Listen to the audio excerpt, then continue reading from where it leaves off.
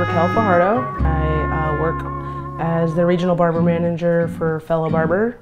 I've been cutting hair for about 12 years, 11 and a half years. I started, you know, in cosmetology and I really just started, you know, being obsessed with beards and short hair and kind of migrated into official barbering.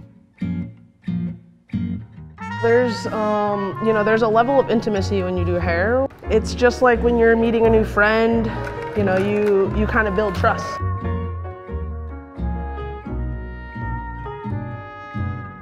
I used to live um, in the Tenderloin, which if people don't even know San Francisco, they know the Tenderloin for some, for some interesting reason. Uh, but that area, um, oddly, it was kind of one of my favorite areas that I've ever lived. uh, and you know, some people avoid it like the plague. I was in a weird place with my personal life, and I really just needed to connect.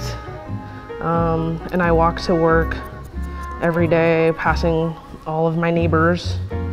Um, you know, they, I would sit and talk with them or just like chit chat or say good morning. And then it just kind of turned into like, you need a haircut.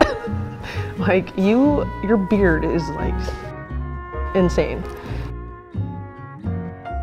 The perspective of someone who is unhoused is more vast than someone who's been privileged all their lives. And so when we have, you know, someone who's on the street getting their haircut, I mean, they've lived like 50 lives that we couldn't even probably survive one of. They paid with gifts of love and gratitude and acceptance and it didn't really matter that I wasn't getting paid for each and every haircut with money because I was getting, you know, so much love and connection with these people.